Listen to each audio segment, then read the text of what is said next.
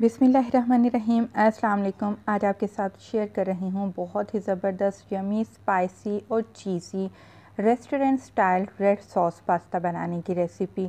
ये pasta recipe बहुत ही easy है। आप अपने बच्चों को लंच बॉक्स में बनाकर दे सकते हैं। आप अपनी दावत मेन्यू में इसको ऐड कर सकते हैं।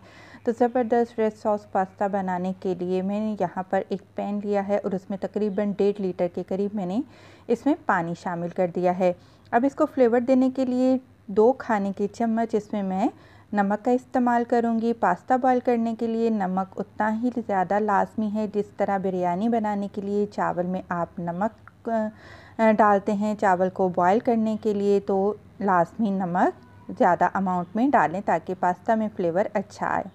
दो खाने के चम्मच तेल शामिल किया है ताकि पास्ता आपस में चिपके नहीं। जब पानी में उबाल आ जाएगा तो आप इसमें एक कप यानी कि 50 ग्राम इसमें पास्ता शामिल कर देंगे। मैंने यहाँ पर पेनी पास्ता का इस्तेमाल किया है। आप अपनी मर्ज़ी के मुताबिक जोन सी भी शेप इस्तेमाल करना चाहते हैं पास्ता की वो ले सकते हैं।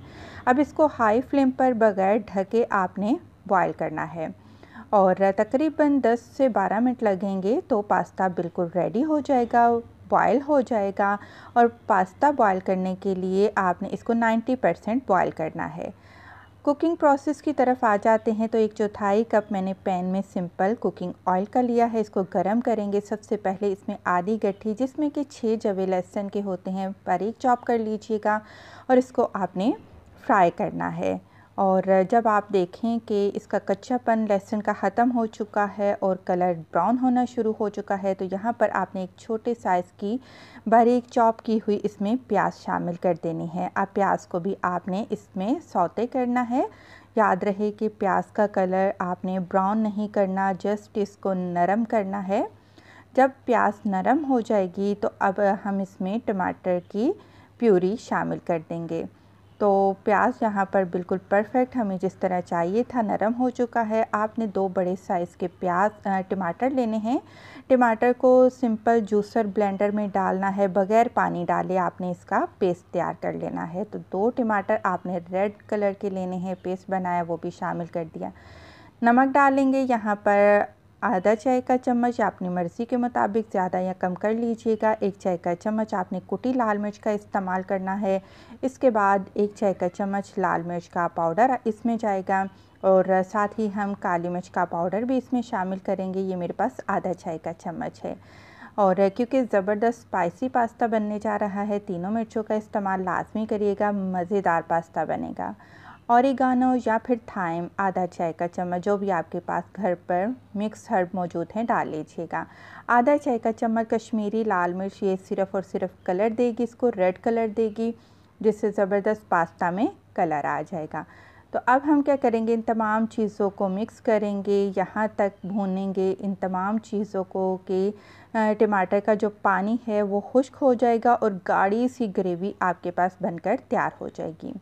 जैसा कि अभी आप देख सकते हैं कि टमाटर का पानी खुश्क हो चुका है, मसाला अच्छे से भुन चुका है और तेल भी मसाले से अलग हो चुका है। अब जो नेक्स्ट चीज़ हम डालने जा रहे हैं वो है आधा कप इसमें दूध।